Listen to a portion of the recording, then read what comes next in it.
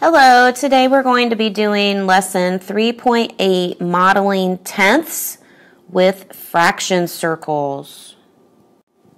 So let's talk about why are we modeling tenths with fraction circles and the reason that we're doing this is we're building our understanding of how fractions work and starting to look at decimals. So that's our why. So let's look at our how.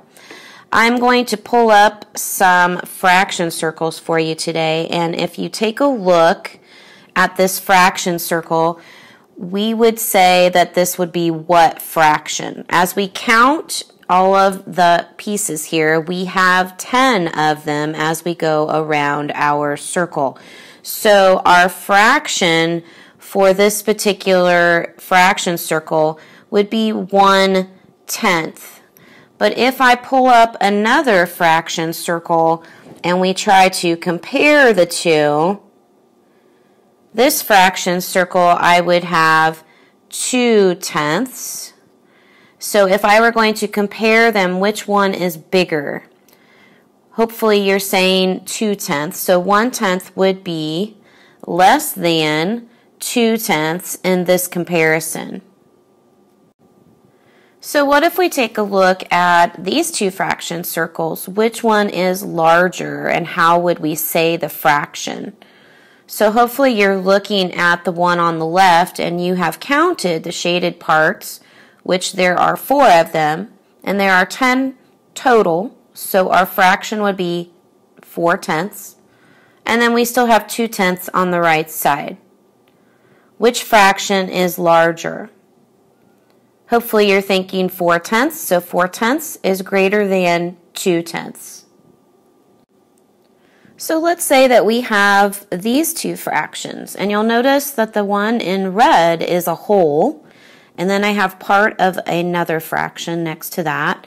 So we're going to say that that would be 1 whole and 2 tenths on this side.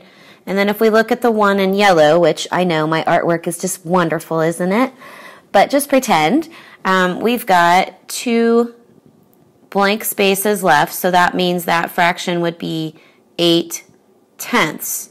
Now, if we were looking to see, of course, which one is larger, we can tell that very quickly um, with this picture because we have a whole involved and we don't have a whole on the other side. So we would say that 1 and 2 tenths is greater than 8 tenths.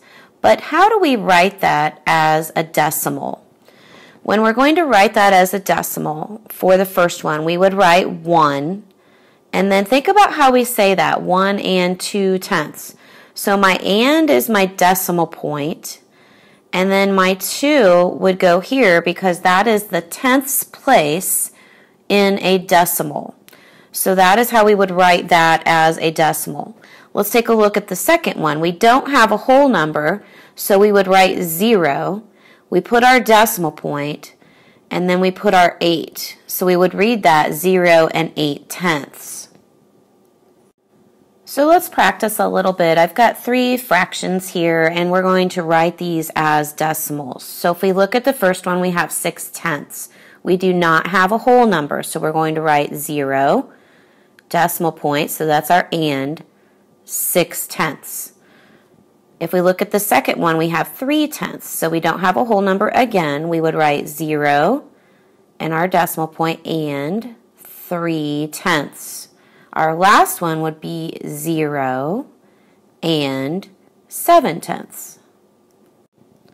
So we've explored a little bit today in this lesson. In class, we are going to explore some more. So we're going to be exploring more equivalent names for numbers, decimal notation for fractions with denominators of 10. Good job, guys. See you in class.